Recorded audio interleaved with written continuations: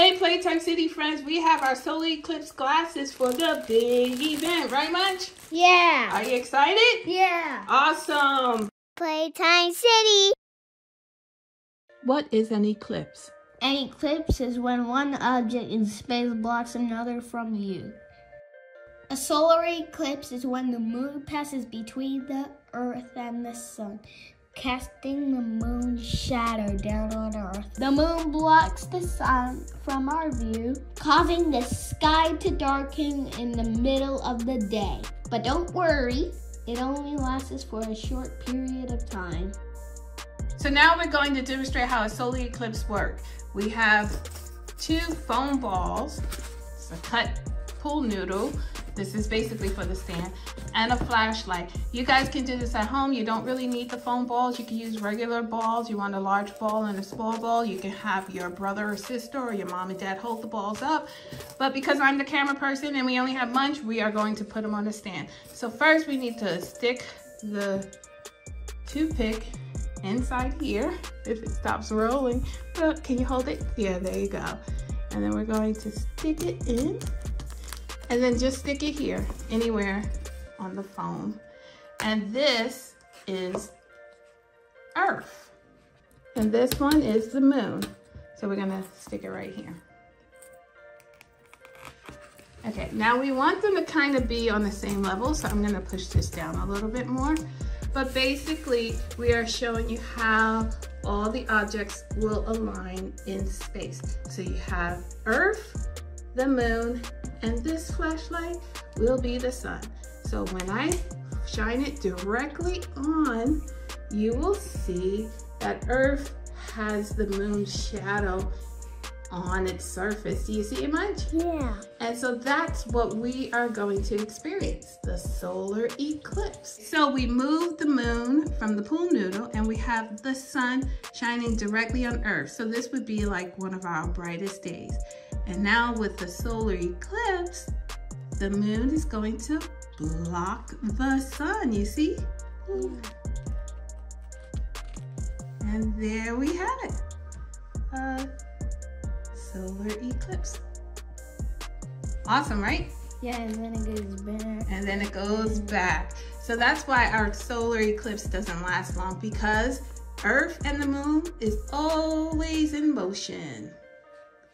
Will everyone see the solar eclipse? No, not everyone will see the eclipse. During an eclipse, some people will see a total eclipse, others will see a partial eclipse, and many others will not notice any difference in the sun. Only the people within the small area covered by the center of the moon's shadow, which is called umbra, will see a total eclipse. People just outside of that area that are within the moon's outer shadow, called penumbra, will see a partial eclipse. How long does a solar eclipse last? The solar eclipse from start to finish lasts about two and a half hours, with the moment of totality lasting up to four minutes. This is the point where the moon fully covers the sun.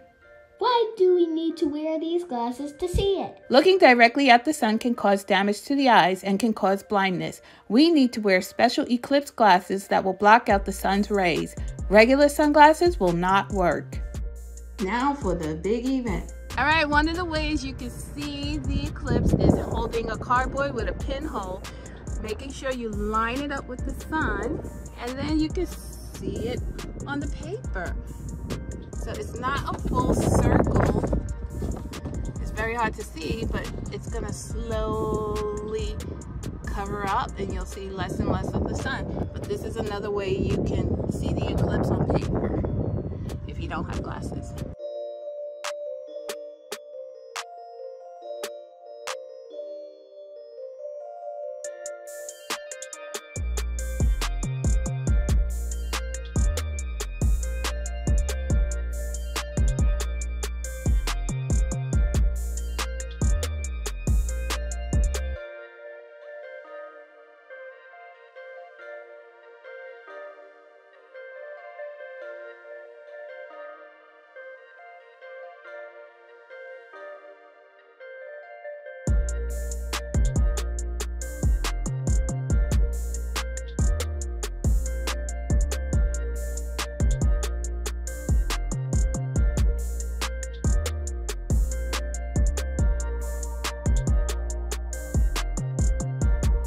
When is the next solar eclipse?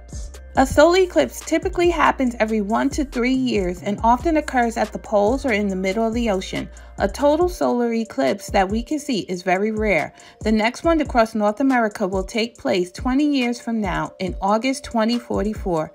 But here are the dates and locations for the next two total solar eclipses. Playtime City friends, we hope this video was helpful in learning what solar eclipse and total solar eclipse are. Mark your calendar for the next one in 20 years.